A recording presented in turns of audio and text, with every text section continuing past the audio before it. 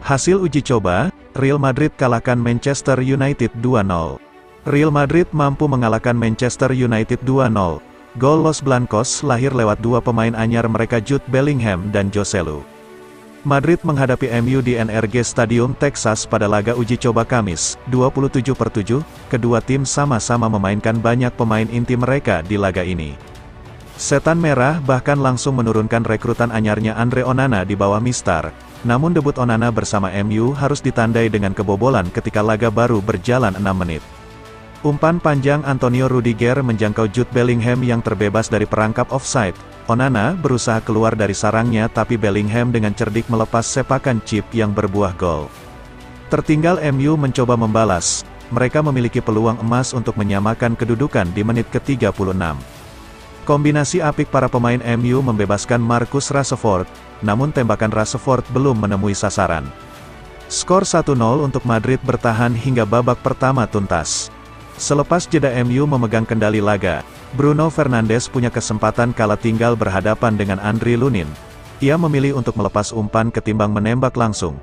Namun umpannya bisa dipotong pemain Madrid, laga berlangsung sengit mendekati menit akhir laga. Duel-duel keras terjadi. Madrid mampu mencetak gol kedua di menit ke-90. Menerima umpan silang Lucas Vazquez Joselu mencetak gol indah lewat sepakan salto. El Real menutup laga dengan kemenangan 2-0.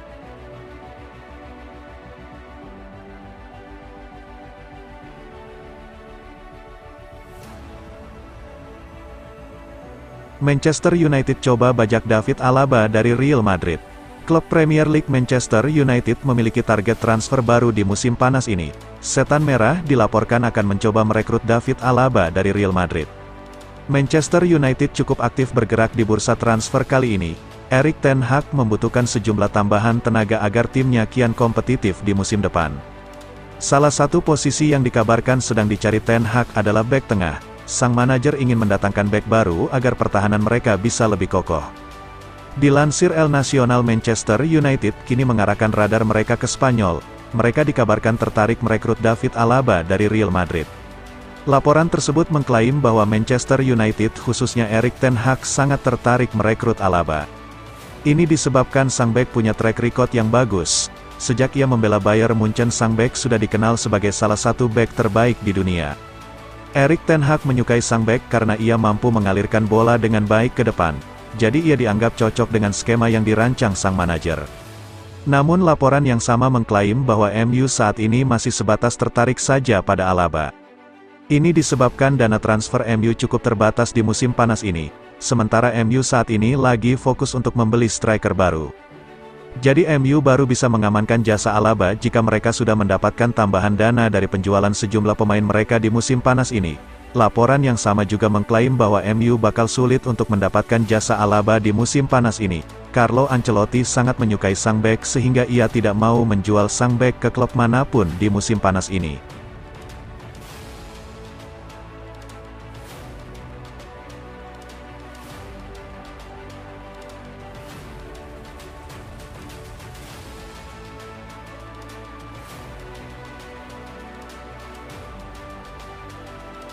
Siasat Real Madrid agar harga Kylian Mbappe lebih murah.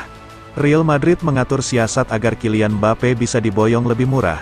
Caranya adalah dengan menunggu hingga pekan terakhir penutupan bursa transfer musim panas 2023. Madrid yang sejauh ini jadi klub paling favorit untuk mendapatkan Mbappe belum menunjukkan tanda-tanda akan mengirimkan proposal penawaran resmi ke Paris Saint-Germain. Madrid bahkan kalah cepat dari Al Hilal, klub Liga Arab Saudi itu sudah mengajukan tawaran 300 juta euro yang diterima oleh PSG. Meski begitu Al-Hilal belum pasti mendapatkan Mbappe karena sang pemain ogah keluar Eropa, oleh karena itu Madrid masih dalam mode santai. Laporan L'Equipe menjelaskan Madrid tengah menunggu situasi yang pas untuk masuk ke dalam perburuan secara resmi. Madrid merasa tidak perlu buru-buru untuk langsung mengajukan penawaran ke PSG, dikhawatirkan terjadi perang harga. Apalagi saat ini Madrid percaya diri sedang memimpin perburuan secara tidak langsung.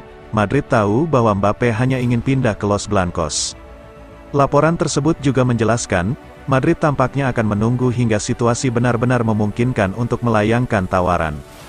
Situasi yang diharapkan Madrid adalah harga Mbappe jadi lebih murah.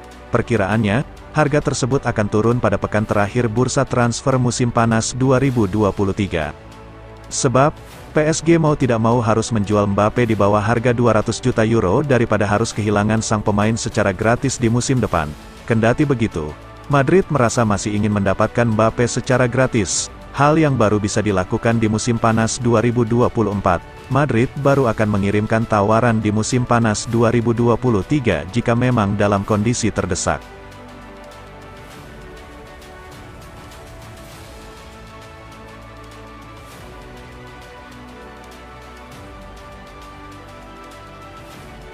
Real Madrid terus pepet Sabi Alonso. Real Madrid sudah ancang-ancang mencari pengganti pelatih Carlo Ancelotti. Laporan menyebutkan, Los Blancos konsisten pepet Sabi Alonso.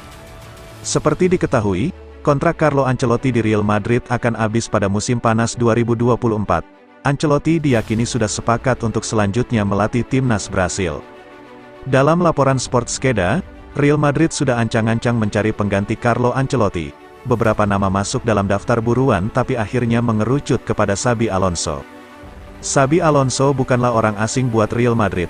Sabi pernah bermain di Madrid dalam periode tahun 2009 sampai tahun 2014, dengan catatan 236 penampilan dan persembahkan 5 titel juara.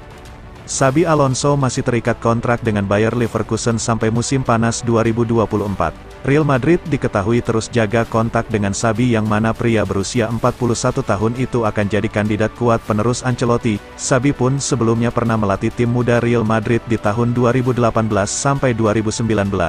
Kemudian jadi pelatih Real Sociedad B alias tim mudanya. Barulah melatih di level tim senior ketika menukangi Leverkusen sejak Oktober tahun 2022.